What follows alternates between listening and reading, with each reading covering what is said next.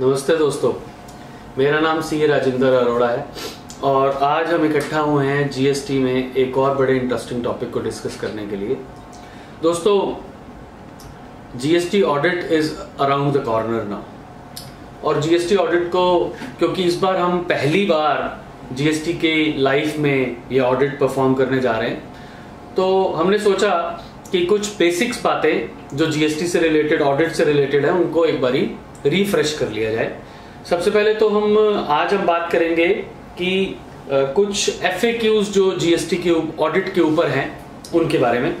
सबसे पहले शुरुआत में रूल बुक की बात करते हैं और देखते हैं कि जीएसटी ऑडिट कहाँ से ओरिजिनेट हो रहा है और हमें क्या करना है। दोस्तों section 35 subsection 5 section 44 and rule 80 जो है, ये बेसिकली रूल बुक है।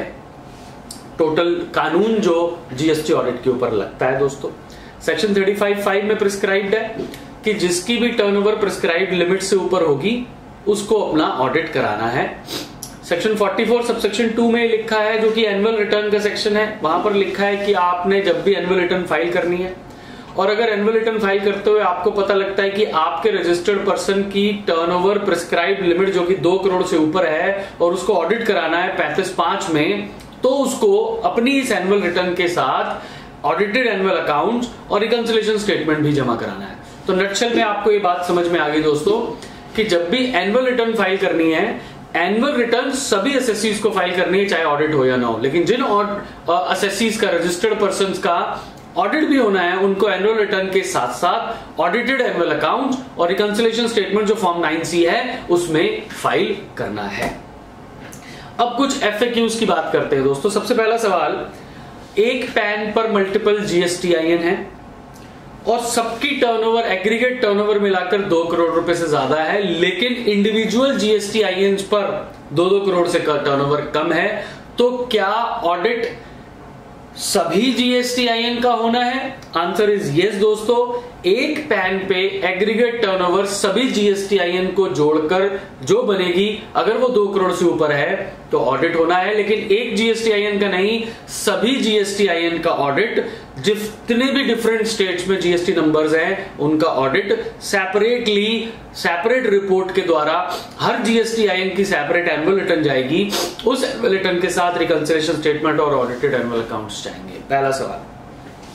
दूसरा सवाल, जो टर्नओवर लेनी है in order to determine the two crore limit वो नौ महीने की लेनी है, एक जुलाई से इकतीस मार्च या बारह महीने की लेनी है, एक अप्रैल से इकतीस मार्च।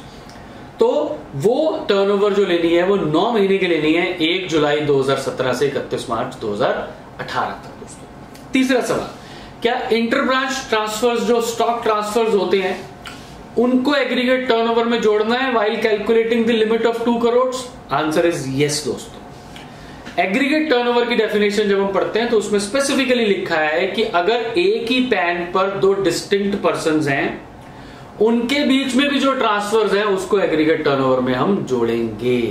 तो स्टॉक ट्रांसफर्स को भी turnover limit aggregate turnover limit दो करोड़ कैलकुलेट करने के लिए जोड़ना है दोस्तों। अगला सवाल, वो सप्लायर्स जिनकी सप्लाईज रिवर्स चार्ज मैकेनिज्म में सेक्शन नाइन ब्रैकेट थ्री में टैक्सेबल है मतलब एडवोकेट्स हैं जीटीएज हैं और सिमिलर एजेंसीज हैं, उनका टर्नओवर कैलकुलेट करते हुए, वो जो टर्नओवर जो कि आरसीएम में टैक्सेबल है मतलब रेसिपिएंट को नाइन ब्रैकेट थ्री में टैक्स देना है तो क्या एग्रीगेट टर्नओवर कैलकुलेट करते हुए, वो outward supplies which are taxable under reverse charge aggregate turnover में जुड़ेंगी? आंसर इज़ यस दोस्तों। अगला सवाल। एग्जेप्टेड टर्नओवर्स जो हैं, क्या वो एग्रीगेट टर्नओवर में जुड़ेंगी? एग्रीगेट टर्नओवर की डेफिनेशन जब हम पढ़ते हैं तो again exempted turnover is part of aggregate turnover non taxable non leviable turnover अगला सवाल. Non taxable non leviable turnover क्या एग्रीगेट टर्नओवर में? For calculation of two crore जुड़ेंगी. Non taxable non leviable कौन सी हुई? जिनके ऊपर इस कानून में, इस जीएसटी लॉ में टैक्स नहीं लग रहा. जैसे कि पेट्रोलियम प्रोडक्ट्स है एल्कोहल है, इन पर टैक्स लग ही नहीं रहा इस जीएसटी लॉ में. तो क्या वो टर्नओवर भी एग्रीगेट टर्नओवर में जुड़ेंगी। मान लीजिए एक पेट्रोल पंप है और पेट्रोल बेचता है और लुब्रिकेंट भी बेचता है। अब जो टर्नओवर दो करोड़ की कैलकुलेट की जाएगी, वो सिर्फ़ लुब्रिकेंट की नहीं की जाएगी। उस नॉन लिवेबल जो पेट्रोल है, उसको भी जोड़कर दो करोड़ लिमिट कैलकुलेट की जाएगी in order to determine the threshold for audit कुछ स्पेसिफिक एग्जाम्पल्स जैसे एजुकेशनल इंस्टीट्यूशन हैं हॉस्पिटल्स हैं एडवोकेट्स हैं। इन हॉस्पिटल्स हैं, मान लीजिए for example hospital chemist shop भी रन करता है। हॉस्पिटल आउट पेशेंट डिपार्टमेंट भी रन करता है। तो ये सब टेक्सीबल सर्विसेज़ वो प्रोवाइड कर रहा है। टैक्सेबल के साथ, अगर वो टैक्सेबल कर रहा है तो रजिस्टर्ड है। रजिस्टर्ड है तो उसकी एग्रीगेट टर्नओवर जोड़ देंगे एग्ज़ाम सप्लाईज को मिलाकर। और अगर दो करोड़ से ऊपर है तो उस हॉस्पिटल को, उस डायग्नोस्टिक सेंटर को जिसकी प्रिंसिपल सप्लाई एग्ज़ाम है, लेकिन कुछ एंसिलरी सप्लाईज टैक्सेबल है और रजिस्ट्रेशन लिया हुआ है, उसको ऑडिट कराने की ज़रूरत पड़ जाएगी। Similarly education institution schools colleges इनको भी अगर कुछ ऐसे कोर्सेज ये प्रोवाइड करते हैं, ऐसी फैसिलिटीज़ ये देते हैं जो कि टैक्सेबल है और बाकी मेजर सप्लाईज जो है प्रिंसिपल सप्लाई वो नॉन टैक्सेबल है विच इज़ एग्जिम एडवोकेट्स के साथ भी, अब प्रिंसिपल सप्लाई तो उनकी एग्जिम्ट है अंडर रिवर्स चार्ज है। लेकिन कुछ इंपोर्ट किया उन्होंने आउटसाइड इंडिया से। अब आउटसाइड इंडिया से जैसे ही इंपोर्ट किया उन्होंने तो रिवर्स चार्ज में उनको टैक्स इंडिया में देना है। कंपलसरी रजिस्ट्रेशन लेना है सेक्शन 24 में।